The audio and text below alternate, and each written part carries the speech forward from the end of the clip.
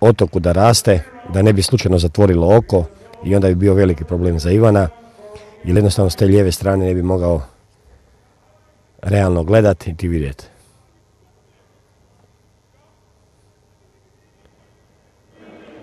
Evo, rodni majk, posljednje upute.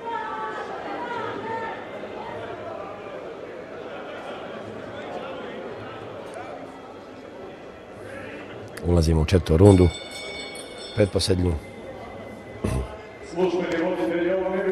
Mislim da Ivan zna da kontrolira cijelu borbu i da u tom momentu ima ove te širok ulaz iz daljine baš. Ni ne trebaju mu, međutim, eto, još uvijek kažem, ima reakciju, dobro izvuče se iz toga, ne propada što je najbitnije da može naletiti na udarac nižega i opasnijeg rodnija koji je puno, puno, evo, prednjim direktima, odlično. Mada kažem ti udarci rukama, ako ne nanose neku veliku štetu ni ne boduju se pretjerano tako da evo, Ivan se opušta.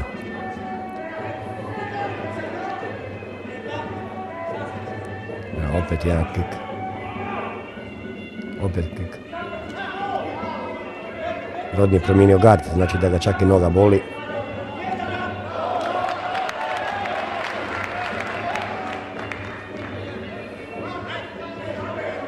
opet tip direkt. Vidite koliko zakašnjena reakcija Rodnija, koliko Stanić brzo se izvuče nakon tog udarca.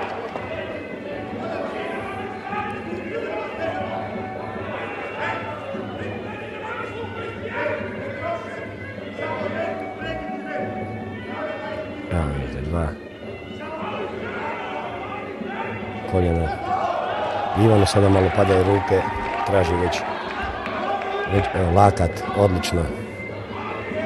Znači lakat, back lakat u povratku.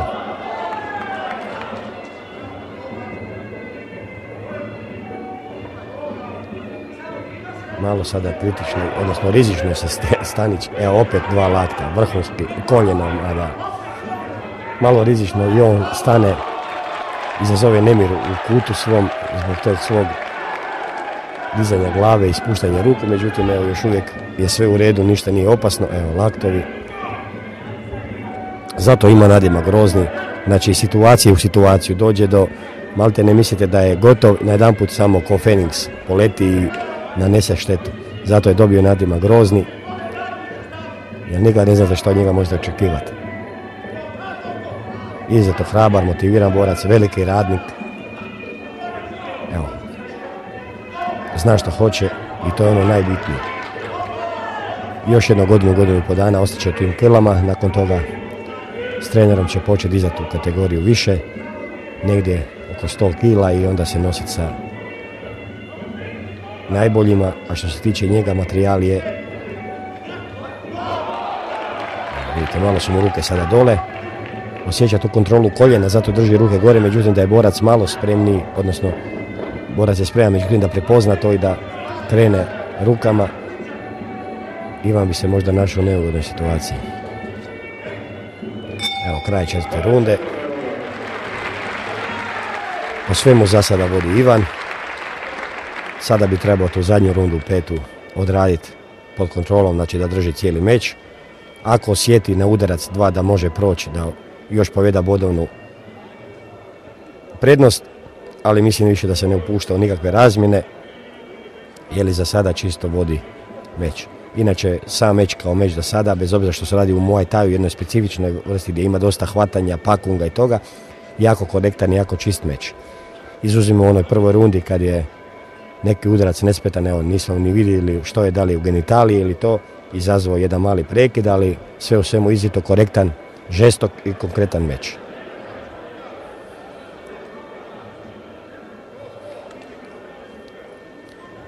zadnja runda, zadnje upute trenera, jednoga i drugoga.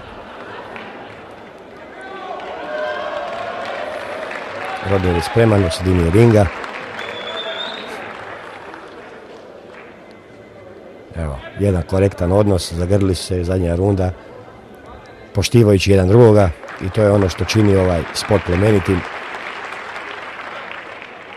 Nema nekorektnosti. Sva nekorektnost, sva... Evo, koljeno. Sve frustracije što čovjek ima riješi u tom ringu i nakon toga su prijatelji, puni poštovanja jedan prema drugome i respekta jedan prema drugome. Evo, opet koljeno. Evo, opet koljeno, da, da, strašno puno koljena taj rodni dobiva. I svaka mu čast kako može izdržati. To su teške unutrašnje povrede nakon toga. Međutim, dok je borac pod adrenalinom, željan borbe, to ne osjeća. Kad se ohladi, onda nastaju problemi. Evo. Ivan klima glavom, svom kutu, znači sve pod kontrolom. Evo, direkt pokušava, pada mu ta desna ruka, evo opet koljeno.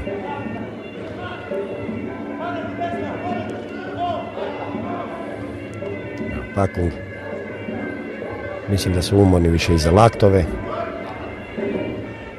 Ivan vjerojatno štedi još koji udarac laktom za završnicu. A Rodnija sad samo srce nosi naprijed. Jednostavno vidio da nema ništa, ništa što može ugroziti Ivana. Evo neki pokušaj skoka lakta. Sve što je imao oružje da bi ugrozio Ivana, to je ispucao već i sad ga čisto ono srce nosi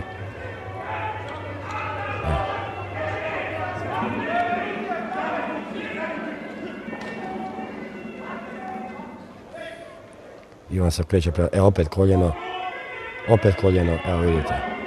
Ta dugačka Ivanova koljena, Kut mu govori da diže ruku gore, da drži gore.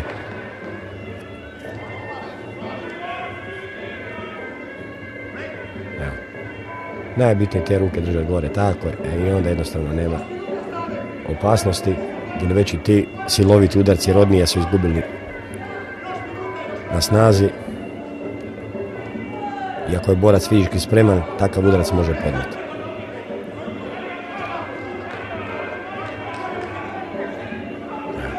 Vidite da ni on nema rješenja, da sam nešto eksperimentira, ne zna šta bi udario, čime bi udario.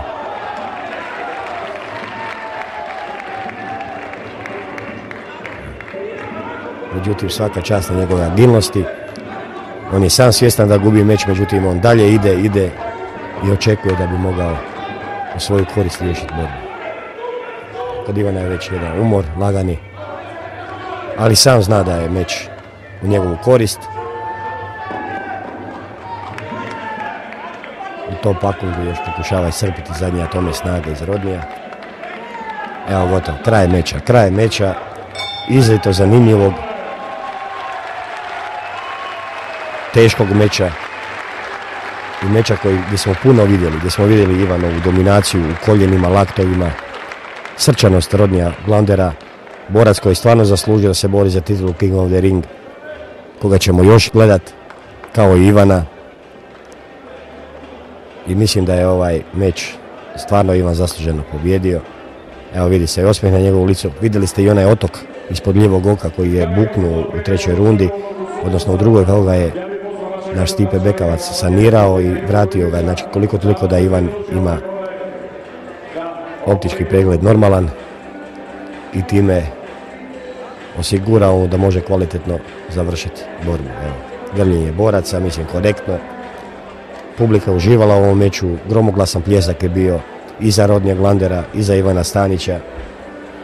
Nakon meča sam Glander se zahvalio i publici i svima i priznao je, isto je rekao da je Ivan pobjednik i da nema zamjerke. Evo sad vidimo i gradonačelnika grada Opatije koji će urušiti pojas. Evo, koji je sam rekao da ne dvojimo ko je pobjedio. Koji je iz svoje perspektive vidio da je protivnik, odnosno da je Ivan bio dominantniji.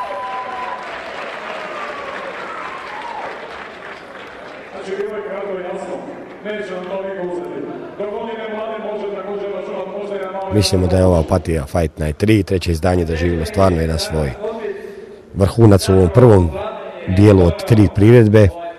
Svaka priredba, svakom priredbom nakon Opatije Fight Night 1 smo dizali renome, dovodili bolje borce, skuplje, ali i zanimanje je bilo veće. Ja se nadam, što se tiče više organizatora dalje, da će nastaviti u tom trendu, da će dovesti iduće godine još renomiranija imena, još kvalitetnija imena i da Opatija Fight Night će biti jedan od bitnih faktora sporta kao eventa, ne kao sportskog događaja u Opatiji. Posebna je iz razloga što je na posebnom mjestu i, i zato što je uh, na jednom specifičnom mjestu koji daje jednu svoju draž. Ako se vratimo u povijest 1936. godine je talijanski šampion branio titulu, znači prije drugog svjetskog rata. 2009. godine kad smo prvi put radili Opatija Fight Night, Opatija ušla u Guinnessovu knjigu rekorda jer je najstariji živući boksač, isto talijan Eriko Di Ricoloso je uh, ušao u Guinnessovu knjigu rekorda kao najstariji živući boksač od 65 godina. Prošle godine doveli smo znači, aktualnog svjetskog prvaka Frederika Belonija koji je branio titulu protiv našeg Ivana gdje je Ivan pobje... evo, evo proglašenje pobjednika. Ivan Stanić zasluženo World Champion King of the Ring, znači uz titulu svjetskog prvaka po VBC Muay Thai do 86 kila, sada je i na neovisnoj listi, odnosno King of the Ring do 91 kilo osvojio pojas, predlužio se velikanima nosiocima pojasa King of the Ring do 91 kilo. Inače moram napomenuti Rodni Glonder je u svojoj povijesti pobjedio Melina Majhofa, pobjedio je Che Konga, znači borca koji je Mirka Filipovića pobjedio. Pobjedio je Valentina Overima, o, brata po, o puno poznatijega Alistera. Međutim, Overim se sad vraća u Strike Forcu je imao meč prije malo vremena i pobjedio je atraktivno. Evo sada ćemo i govor Rodnija Glondera čuti.